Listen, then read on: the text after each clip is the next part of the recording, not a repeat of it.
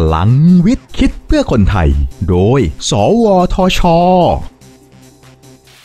ระบบตรวจวัดน้ำหนักแรงกดฝ่าเท้าและสมดุลร่างกาย ผู้สูงอายุและผู้ป่วยที่มีปัญหาบริเวณขาหรือเท้า เช่นผู้ป่วยเบาหวาน อาจมีโอกาสล้มในระหว่างเดินได้ง่ายกว่าคนทั่วไปนะครับ ถ้าเรามีเทคโนโลยีที่จะช่วยลดโอกาสเกิดการล้ม ให้แก่บุคคลเหล่านี้ได้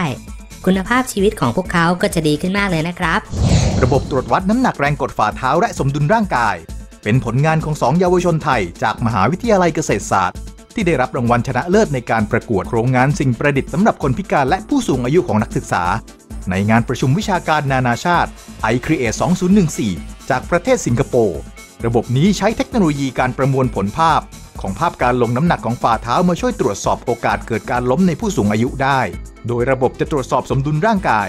จากนั้นแสดงผลเป็นกราฟให้เห็นทิศทางการเอนตัวของผู้ทดสอบ ข้อมูลที่ได้นี้ สามารถช่วยในการออกแบบบ้าน หรือสิ่งของเครื่องใช้ ให้มีความเหมาะสมต่อผู้สูงอายุ และผู้ที่มีปัญหาในการทรงตัว ปัจจุบัน ระบบตรวจวัดน้ำหนักแรงกดฝ่าเท้านี้ ได้นำไปใช้งานในโรงพยาบาล 12 แห่งสำหรับตรวจสอบเท้าของผู้ป่วยเบาหวาน เพื่อดูการกระจายน้ำหนักเท้าและโครงสร้างเท้า ในการจัดทำแผ่นรองรองเท้าและรองเท้าได้ พัฒนาคนด้วยวิทยาศาสตร์ พัฒนาชาติด้วยเทคโนโลยี สอบถามรายละเอียดเพิ่มเติมได้ที่ สวทช 02 564 8000